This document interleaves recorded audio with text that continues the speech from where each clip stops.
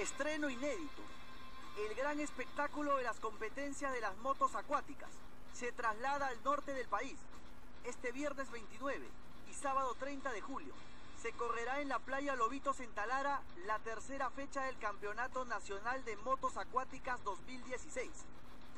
La federación de este deporte aceptó la invitación hecha por el alcalde de esta ciudad para realizar la jornada en el interior del país. Carlos Torres, quien es uno de los organizadores de esta competencia, nos cuenta los detalles de este certamen. Bueno, esta tercera fecha la estamos organizando en Lobito porque es un excelente escenario, como todos saben es un paraíso del zoo, a, por la gentil invitación del alcalde de Talara.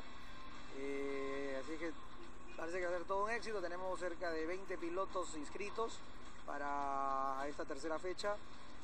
Eh, invitamos a todo el público de Piura, Talara, del norte, quienes tengan una moto también participen porque va a haber una categoría para noveles, además de los 20 pilotos que corren en Nacional, eh, pueden también participar y lograrse un trofeo, un podio.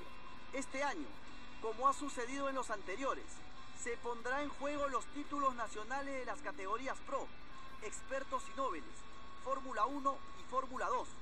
Asimismo, las competencias tendrán las modalidades de aquacross y offshore. Y Carlos Torres, actual campeón nacional y sudamericano, buscará defender su título. Voy a defender el título, yo soy el actual campeón nacional en la categoría offshore.